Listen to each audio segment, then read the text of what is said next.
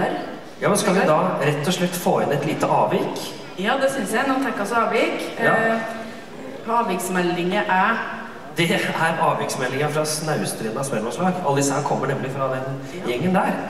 Og inn på scenen så får vi en helt nydelig gjeng, rett og slett. Fordi vi har med oss eh, Anders Schjølberg på fele. Vi har Eirik Holm på fele. Vi har Anders Vassli Brekke på piano.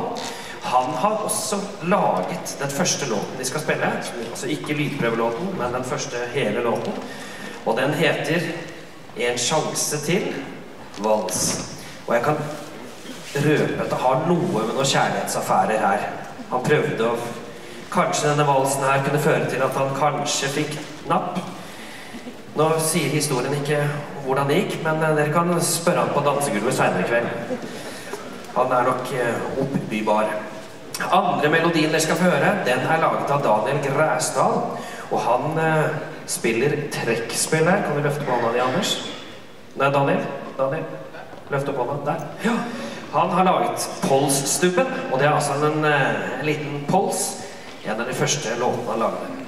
I tillegg til det så har vi altså Sindre Hund på gitar. Eirik Njåstad på to rader. Ja, da tror jeg vi faktisk har fått med alle sammen. Lykke til, Avik.